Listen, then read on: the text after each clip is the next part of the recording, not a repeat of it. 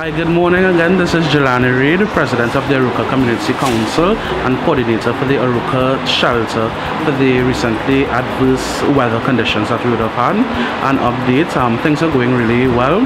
Um, well, to the left of me, we have a lot of clothes that we're trying to um, organize to um, package off for redistribution.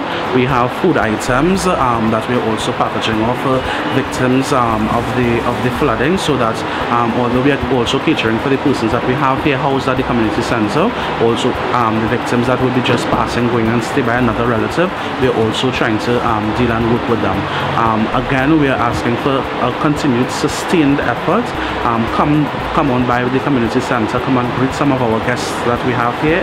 Um, we, we, need as many hands on deck and continue to contribute with food items canned items towels um, sausages and anything that you can think of. We are accepting it and then we will be able to to be able to do what it is that is possible to continue to meet the needs of our fellow countrymen.